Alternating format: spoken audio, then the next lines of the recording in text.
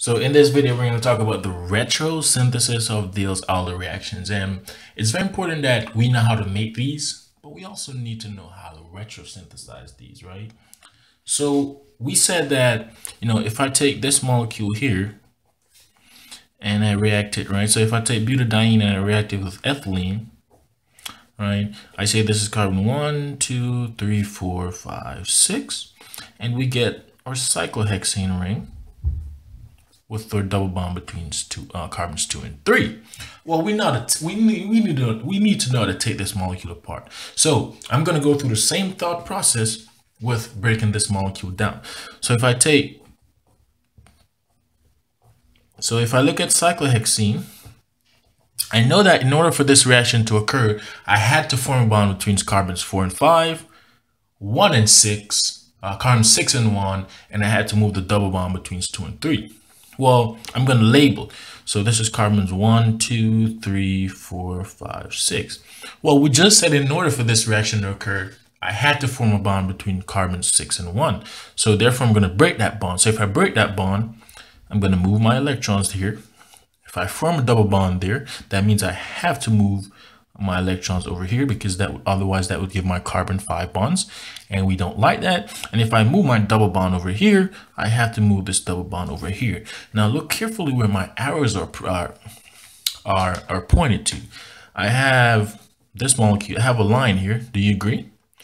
Well I have a line here. Look where my arrow is pointing that means I have a double bond there.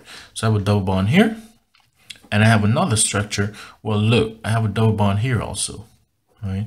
So I know that's coming from butadiene plus ethylene, right? Notice that on this this this this far side here, they have this arrow coming here signifying that they have a double bond there. So these are the two products. So it will get complicated very quick. So let's do some practice examples. So what if we have, what if we were given this on an exam, right?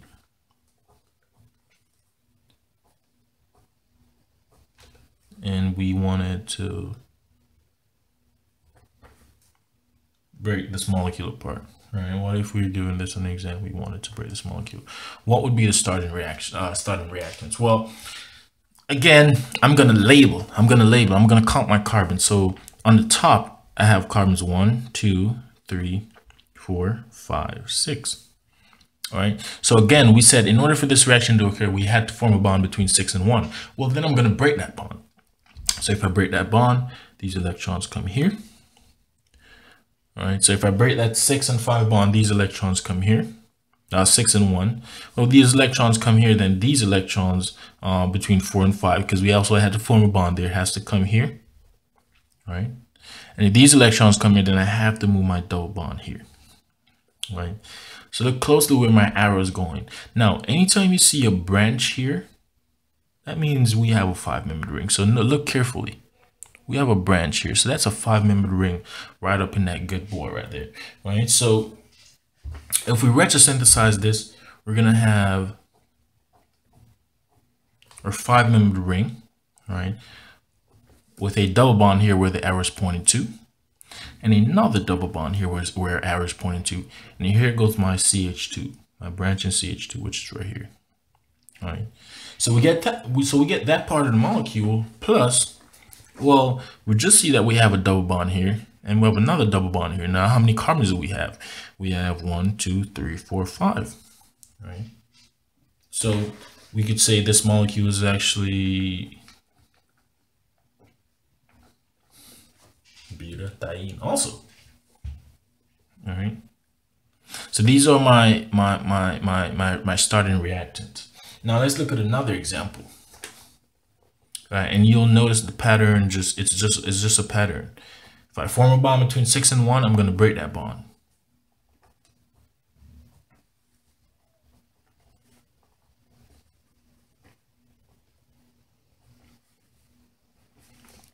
Right.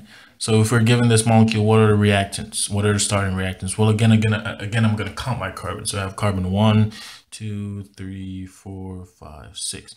Well, in order for this re reaction to occur, I, I had to form a bond between six and one. So therefore, I'm going to break that. If I break that bond, I have to break carbons uh, five and four, right? And if I do that, I have to move my double bond up between one and two. Well, if I look closely, if I look closely, if I look closely, how many carbons do we have? One, two, three, four, five, six. All right, so we have a six-membered ring. All right, and look where my electrons are going. I have a double bond here. I have a double bond here. So I know that's one of my uh, uh, uh, starting reactants plus. Well, if I just took apart this, well, what's here? We have this alkene here since we have the double bond that that's formed here. So we have a line here with a double bond and then this whole side of the molecule.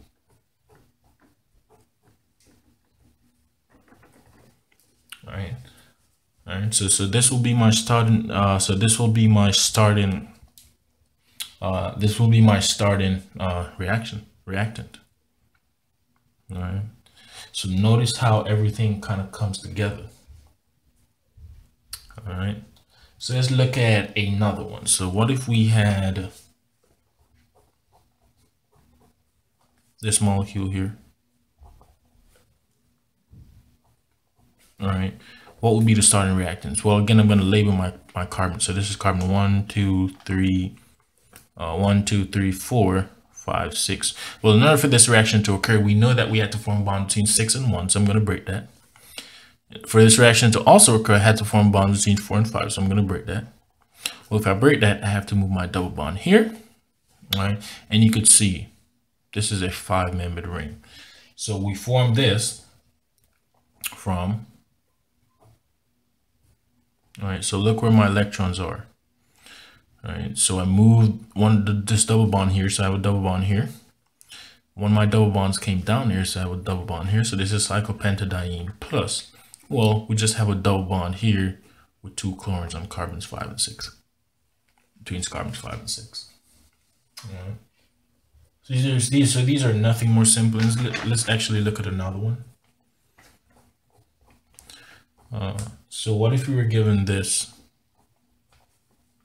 Uh, right, and we were asked to retrosynthesize it. What are the starting materials? Well, again, I'm going to count my carbons. So here I have carbon one, two, three, four, five, six. I'm going to break that bond between one and six. So I'm going to break that bond between one and six. So one and six. right? So if I break that bond between one and six, I have to break my bond between four and five. And I have to move these electrons between one and two.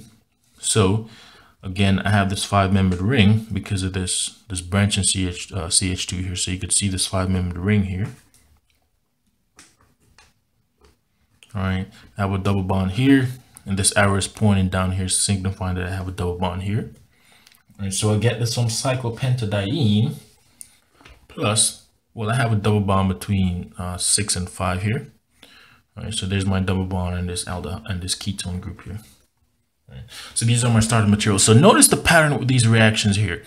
If i form a bond between one and uh, between four and five uh, six and one, and then I move my double bond between two and three. I'm just going to retrosynthesize that. So I'm going to break the bond between one and six, break the bond between four and five, and move my pi bond between one and uh, between carbons one and two, and we literally get our our starting material. So again, nothing more difficult, nothing more pretty uh, simple chemistry, if you ask me.